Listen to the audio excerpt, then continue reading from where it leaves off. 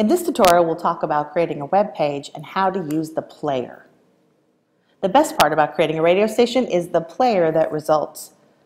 So add news to your station page and keep your listeners up to date on what's happening with your station. To do that, go to the RMO and click on the Share tab. You can choose the station you want to share specific news and information with by selecting the pull-down menu.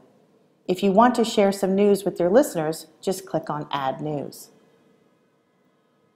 Now you can write any kind of updates, blog information, any kind of information that you want to share with your audience that'll show up on your player page and on your player.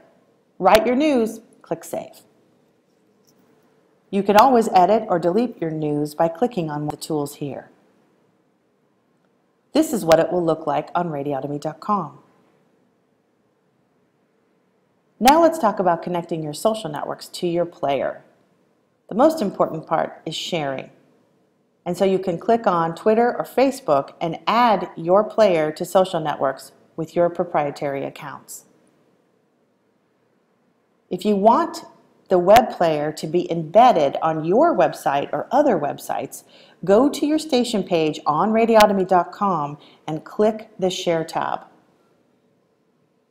You can personalize the player by choosing between the options available, size, autoplay, background, text, and then you have the HTML code for the player. Simply copy and paste it into your website or give it away to other websites that you're connected to. You can use the pop-up player, which allows your listeners to pop up only the player from your website. So if they should leave, they can keep on listening. A new window will open with the player. You can share directly from the player as well.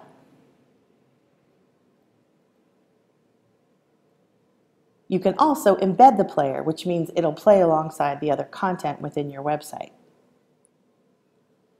Now, if you don't have a website or in between creating ones, you can use our own websites inside the Radionomy platform.